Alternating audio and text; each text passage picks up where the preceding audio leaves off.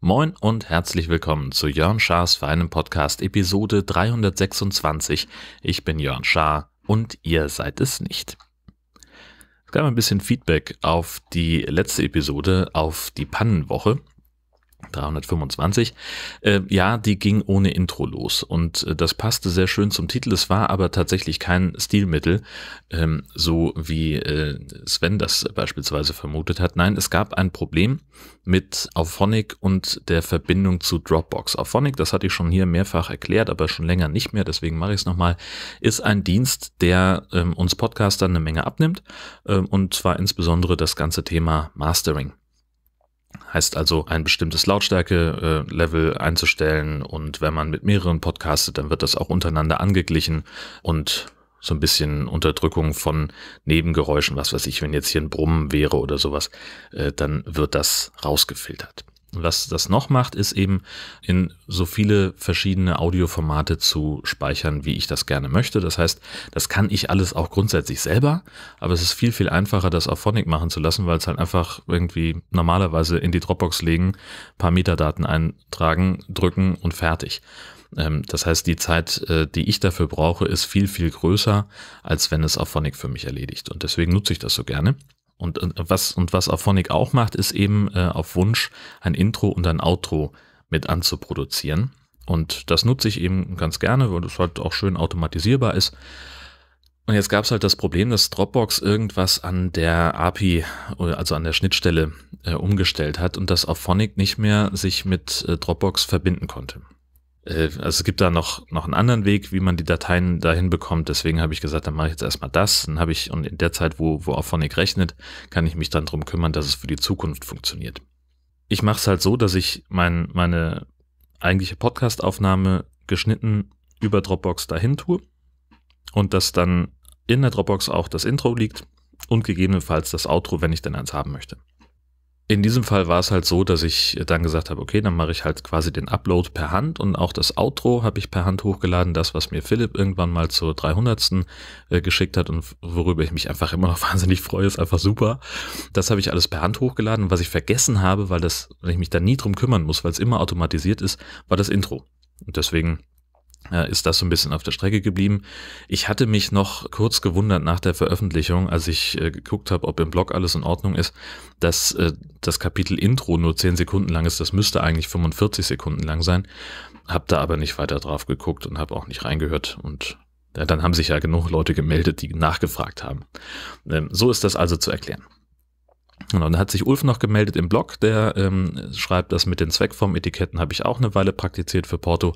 Allerdings muss ich sagen, dass wenn man mehrere drucken muss, ist okay, aber wenn man einzelne Etiketten braucht, geht es dir bestimmt auch bald wie mir auf den Zeiger. Denn wenn du angefangene Bögen hast, musst du ja jedes Mal die Druckstartposition neu angeben. Und wenn du dann auch noch einen Laserdrucker hast und den Bogen mehrfach durch den Drucker jagst, dann fangen die Etikettenbögen an, sich zu wellen. Wie gesagt, hast du einen ganzen Schwung Etiketten, ist das super. Wenn du ab und zu was etikettierst, ist das meh. Ich hätte schon Bock auf einen Thermoprinter mit Endlosetiketten, aber die sind doch preislich etwas oversized. Ja, das ist eine, eine wichtige Einschätzung. Äh, ich bin selber sehr gespannt. Das Thema äh, Etiketten wird auch gleich noch Thema sein im Anschluss. Und tatsächlich hatte ich auch erstmal mit so einem äh, expliziten Etikettendrucker geliebäugelt und dann habe ich gedacht, okay, das Ding kostet 75 Euro. Und für die paar Briefe, die ich im Monat verschicke, also das rechnet sich schon also sehr spät. So, mein klar, ich kann sowas dann immer irgendwie über meine Selbstständigkeit mit abrechnen und äh, hin und her. Ja, klar, geht. Also ich sag mal, wenn das jetzt ein Gerät wäre, das mir irgendwas mit Podcasting erleichtern würde, dann würde ich wahrscheinlich eher 75 Euro dafür ausgeben, als für etwas, das mir ähm, drei bis sieben Mal im Monat es erleichtert, ein, äh, eine Adresse und ein Porto auf einen Brief zu bringen. Insofern ähm, habe ich davon dann auch Abstand genommen, habe gesagt, ich probiere es erstmal mit den, mit den Zweckform-Etiketten, die, jetzt kommen wir dann weg vom Feedback, äh, tatsächlich im Tintenstrahldrucker ganz gut funktionieren. Das habe ich jetzt ausprobiert. Was ich natürlich dann wieder irgendwie nicht bedacht habe, war, also man kann halt bei diesem Internet-Marketing, kann man entweder nur das Porto draufdrucken oder schon gleich Adresse und Absender mit hinzufügen. Da habe ich natürlich überhaupt nicht drüber nachgedacht, dass nur weil ich da einstelle, ich habe diese Etikettengröße, dass sich dann nicht der Druckbereich vergrößern kann. So. Klassischer Anfängerfehler. Das heißt also beim ersten Versuch, es hat super funktioniert, es kam aus dem Drucker wie eine Eins. Das Problem war halt einfach nur mit äh, Porto, Absender und Anschrift war es halt dann auf vier Etiketten verteilt, weil ich eine relativ kleine Etikettengröße genommen habe. Ich weiß gar nicht wieso. Ähm, äh, habe ich mir einfach keine Gedanken drüber gemacht. Äh, jetzt, ja, mein Gott, also dann ist es halt quasi für die Briefmarke der Aufdruck, äh, das reicht dann. Und wenn ich das nächste Mal Etiketten kaufe, was wahrscheinlich in ungefähr drei Jahren sein wird, dann denke ich hoffentlich dran, dass ich mir größere anschaffe.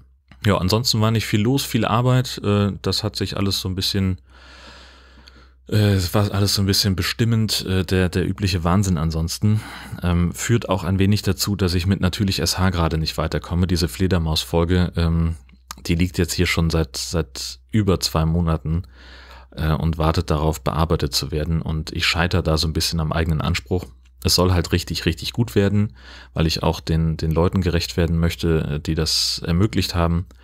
Ja, das dauert einfach seine Zeit. So, das nervt so ein bisschen. Äh, was ich ansonsten außer der Reihe gemacht habe, war, ich habe mir eine Grippeimpfung geholt. Und tatsächlich ist mir aufgefallen, es war das erste Mal, dass ich äh, losgelaufen bin und eine Grippeimpfung bekommen habe. Ich habe das schon seit Jahren immer mal wieder vor, dann doch irgendwie vergessen.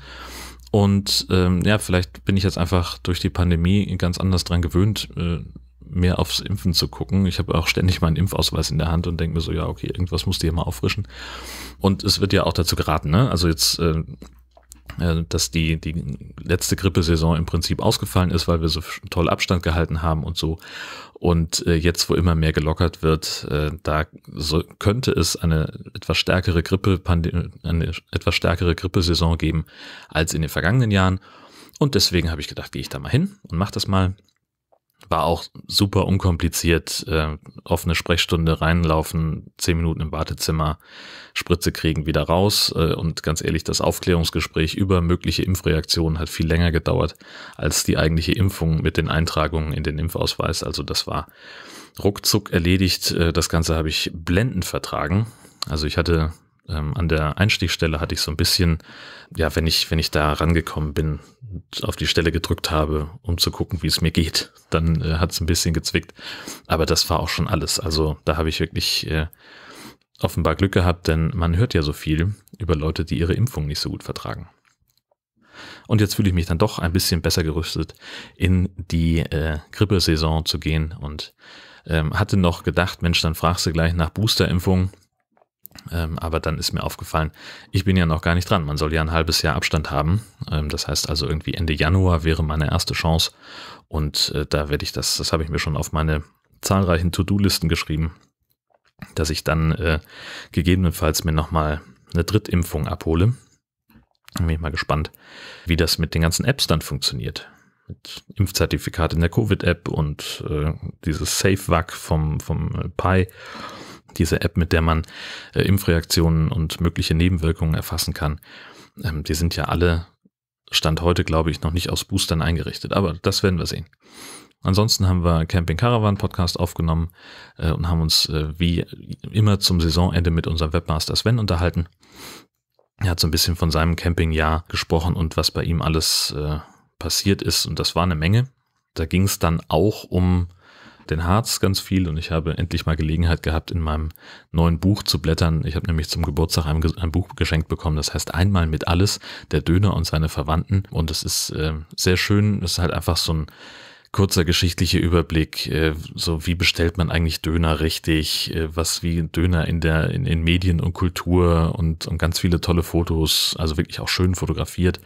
Und ein Arsch voll Rezepte. Also so wie machst du ein Dönerbrot, wie machst du ein Lamajun, äh, wie, wie machst du ein Fladenbrot so und, und wie, was für Soßen kannst du machen und wie geht das und dann ganz viele Bauanleitungen, irgendwie 40 verschiedene Dönervarianten. Das fand ich ein bisschen viel. Das wirkte so ein bisschen bemüht. Ich glaube, da hat er einfach noch so ein paar Seiten zu füllen, hat sich da noch irgendwie was ausgedacht und ja, meine Güte, ähm, am Ende noch irgendwie Riesenglossar und eine Liste von seinen Lieblingsdönerläden in fünf Städten und Also kann man schön mal durchblättern.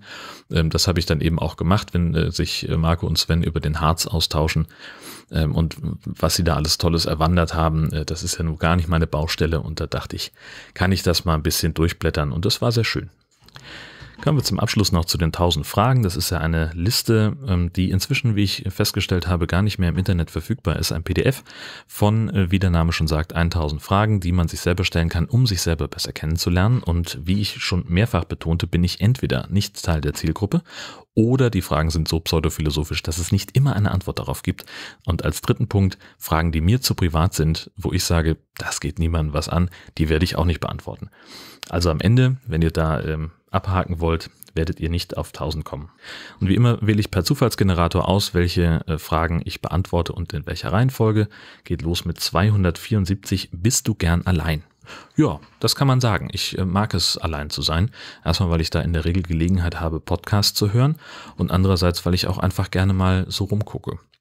Dieses Alleinsein, das geht in ganz viele verschiedene äh, Varianten. Das ist zum einen allein zu Hause zu sein und einfach mal auch die Ruhe hier zu genießen, wenn ich äh, für mich selbst bin, auch mal Sachen zu machen, zu denen ich sonst nicht komme. Und wenn das einfach nur hirnlos irgendwie zocken ist und irgendeine, was weiß ich, City Skylines irgendwas aufzubauen oder und ein Stadtviertel zu verschönern oder weiß der Geier was. Was ich total mag, ist ja wirklich morgens alleine auf dem Golfplatz zu sein. Super geil. Weil, ja, da bin ich einfach mal für mich und, und muss mich um nicht viel mehr kümmern als um mich und das ist, ähm, das ist sehr schön. So, und da, natürlich ist es aber genauso schön, einfach äh, Zeit mit der Herzdame oder mit anderen Menschen zu verbringen. Äh, dafür habe ich die Herzdame ja geheiratet, dass wir äh, auch viel Zeit miteinander verbringen können. Aber nichtsdestotrotz finde ich es auch wichtig, dass man immer mal was alleine macht und, und auch mit sich selber gut klarkommen kann. Das ist ja auch etwas, das man können muss im Zweifelsfall, finde ich. Ist auch eine wichtige Fähigkeit. Alleine mit sich selber klarzukommen, ohne die Wände hochzugehen, ist, glaube ich, sehr, sehr wichtig. So allein für die Seelenhygiene. Frage 75. Wo informierst du dich über das Tagesgeschehen? Ähm, auf der Arbeit tatsächlich. Äh, wie ihr wisst, arbeite ich als Reporter für den NDR. Und äh, da ist es mein Job, nicht nur mich selber zu informieren über das Tagesgeschehen, sondern auch andere Menschen zu informieren. Entsprechend sitze ich an der Quelle von DPA-Ticker und Pressemitteilungen und äh, bringe die Themen, die wichtig sind, ins Radio oder ins Fernsehen oder auf die Online-Seite. 966. An welches ungeschriebene Gesetz hältst du dich konsequent? Ich versuche es tatsächlich, mich äh, konsequent daran zu halten, pünktlich zu sein. Das ist so eine, ist da, oder ist das ein ungeschriebenes Gesetz? Oder ist das einfach nur so eine gesellschaftliche Konvention, dass man andere Menschen nicht warten lässt? Ähm, dass man niemandem das Gefühl gibt, äh, unwichtiger zu sein als man selbst. Äh, das ist, hatte ich glaube ich hier auch schon mal besprochen. Pünktlichkeit ist mir sehr, sehr wichtig. Und dann zum Schluss Nummer 48. Welchen Raum in deiner Wohnung magst du am liebsten? Ja, das ist relativ leicht. Ähm, mein Podcastzimmer ist ganz, ganz toll. Da verbringe ich ja auch die meiste Zeit des Tages, einfach weil das eben auch mein Arbeitszimmer ist und ich im Homeoffice im Augenblick arbeite. Ja, das ist tatsächlich der Raum, wo ich die meiste Zeit verbringe, wo ich sehr gerne bin. Hier ist mein, mein super Schreibtisch und mein ganzes Equipment ist hier. Tatsächlich steht ja hier auch der Fernseher, das heißt auch die Herzdame ist viel hier. Äh, so verbringen wir Zeit zusammen. Das ist doch was Schönes. Nee, und ansonsten halt das Schlafzimmer. Wegen Schlafen. Mittagsschlaf. So wichtig im Leben. Das war's dann für heute. Vielen Dank fürs Zuhören. Ich wünsche euch äh, eine fantastische Zeit, bis ich irgendwann mal weiß, wen ich diesmal zum Rücktritt auffordern soll. Mal gucken, wer da das Potenzial zeigt.